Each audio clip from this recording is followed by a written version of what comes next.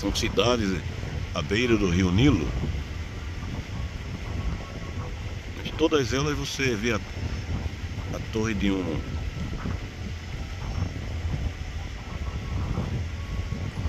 de uma mesquita,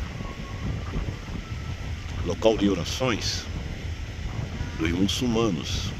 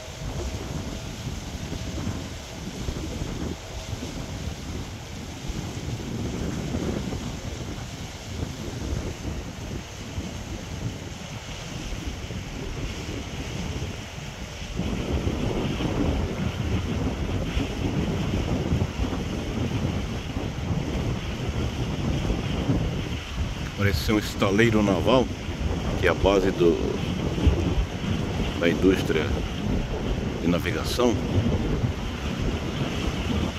E desses barcos que navegam aqui pelo Rio Nilo. Aqui antes de Luxor, um estaleiro, né? Chamamos de estaleiro naval. Também tem um estaleiro aqui. Naval aqui estaleiro naval ele serve para, para construir e também para reparar na, é, barcos, barcos, navios. Depois de, alguns depois, são construídos em, em terra, em calhas, e depois são lançados ao mar.